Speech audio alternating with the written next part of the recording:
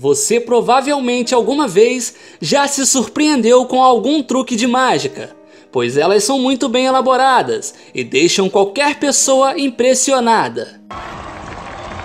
Mas você sabia que algumas pessoas acreditam que alguns mágicos têm algum tipo de pacto e que alguns deles são capazes de usar demônios para fazer as suas vontades? Hoje te convido a ver alguns mágicos que supostamente têm a ajuda do sobrenatural para fazer seus truques. E se você curte o canal Castor Curioso, peço a você uma ajuda simples. Você só precisa dar uma curtida no vídeo e se não for inscrito, se inscrever no canal para não perder os próximos vídeos e não se esqueça de deixar nos comentários a sua opinião sobre o assunto. E se prepare que no vídeo de hoje veremos Mágicos demoníacos, a arte obscura. Esse mágico se chama If e ele consegue materializar coisas. Ele simplesmente faz com que do nada na mão dele apareça um croissant.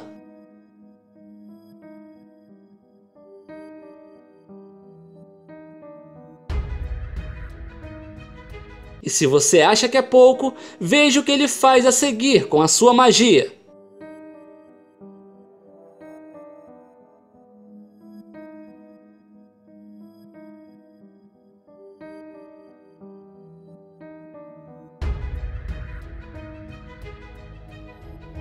Ele faz surgir um pão enorme do tipo baguete, e o pão aparece do nada, como se fosse edição de vídeo. Porém, muitas pessoas presenciaram e ficaram muito impressionadas. Esse mágico se chama Dynamo e é muito conhecido. E ele nesse vídeo fez algo muito estranho. Ele estava simplesmente andando pela rua e de repente ele se joga para trás e se lança ao nada, como se alguma força invisível segurasse ele no ar.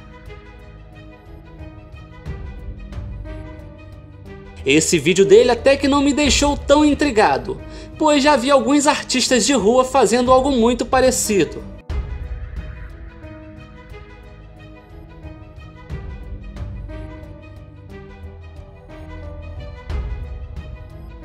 Porém, esse mágico não tem limites. Ele resolveu fazer algo que de certa forma desafia a física e até mesmo a fé. Ele resolveu replicar o milagre de andar sobre as águas. Como podemos ver, uma multidão se juntou para ver ele andando sobre as águas.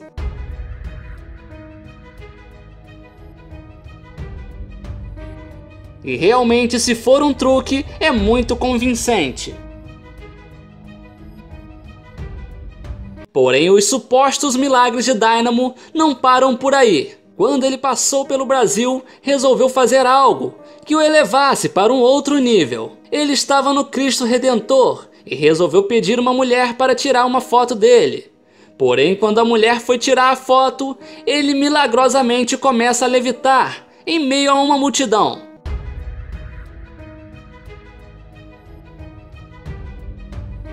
Não dá para saber como ele fez isso, e como vemos, muitas pessoas viram e ficaram admiradas. E por falar em levitação, tem um outro mágico que também consegue levitar. Porém, esse não foi o truque que mais me surpreendeu. Esse mágico se chama de Breezy, e nesse vídeo ele consegue fazer com que a água de uma garrafa não caia, mesmo virando ela. E ele ainda coloca um palito e uma bala dentro da garrafa, sem que a água caia. Outra coisa que me chamou muito a atenção foi os símbolos que esse mágico faz questão de exibir.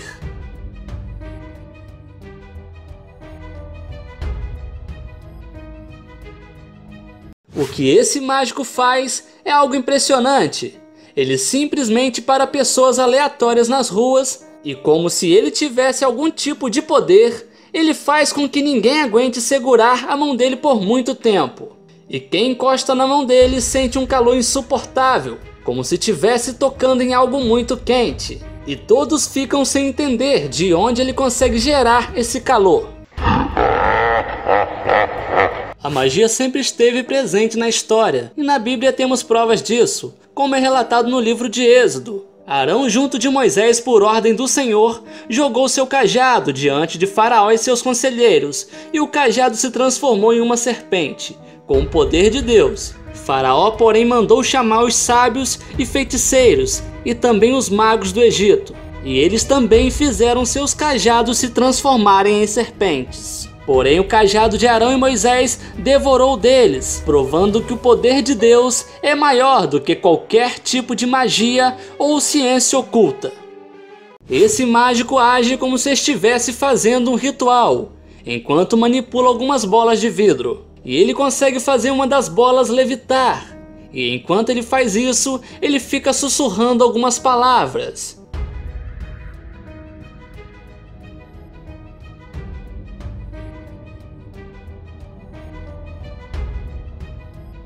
E mesmo prestando bem a atenção, não dá para ver nada que possa estar segurando essa bola no ar. E para piorar, os olhos dele mudam de cor.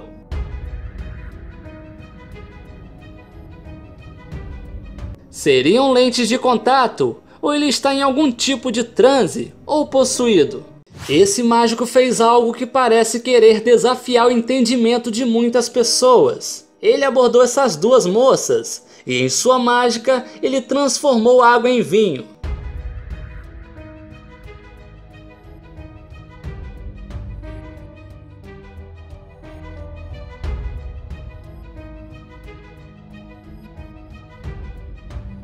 Seria isso apenas um truque ou ele tentou fazer uma alusão ao milagre de Jesus Cristo?